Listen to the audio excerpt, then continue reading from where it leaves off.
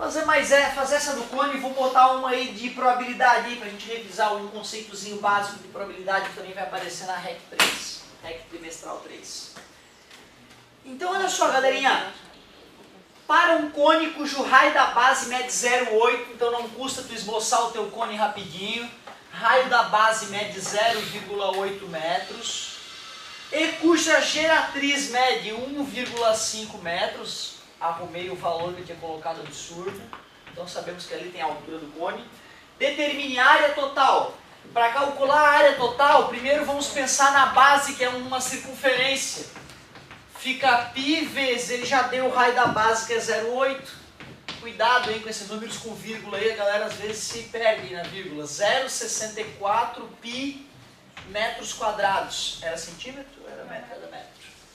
Depois, área lateral. área lateral, tu deduzir a formulazinha πRG não é fácil.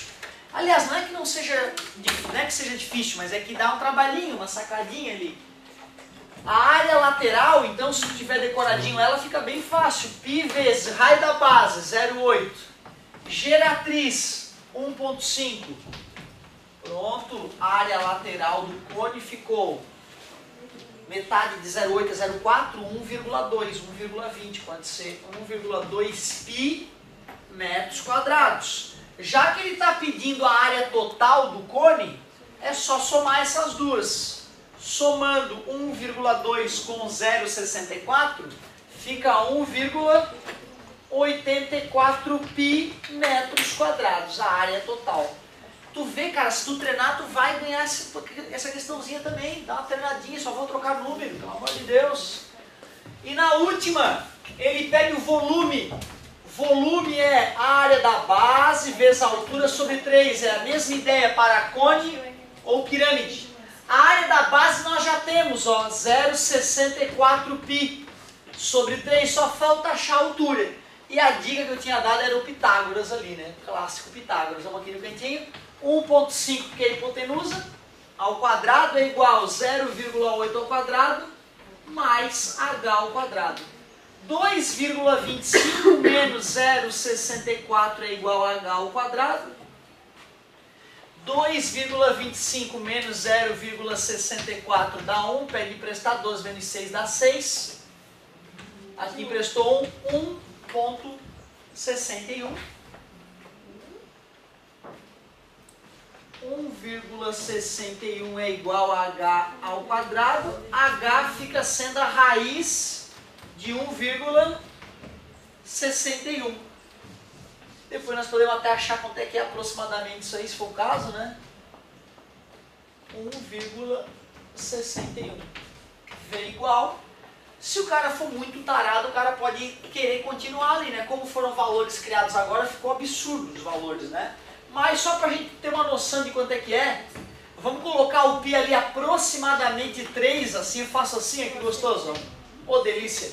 Quanto é que tu arrisca para a raiz de 1.61?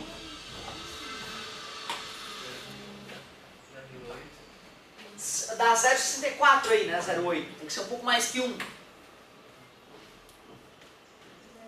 1.2 vezes 1.2 dá 1.44, é pouco. 1.3 vezes 1.3, 1.69, passou um pouquinho. Então eu sei que é 1,2 alguma coisa, né? E como a gente também não está querendo grandes precisões, vou colocar ali 1.2 só para ter uma noção. Então ficou 64 vezes 12, 8, 12, 4, 6, Ó, aproximadamente, aqui são duas casinhas após a vírgula, três casinhas. Então eu sei que o volume é aproximadamente 0,7 alguma coisa metros cúbicos.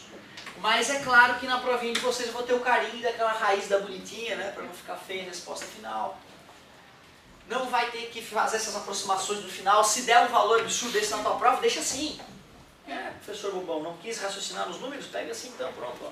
Tá? Mas eu prometo a vocês que vai ter raiz exata ali para não ficar tão feia a resposta final. Então, beleza, já temos duas questõezinhas garantidas aí na REC 3. E acho que coisas que não podem faltar também nessa REC 3 é questão de probabilidade. Eu vou selecionar uma questãozinha de probabilidade ali pra gente.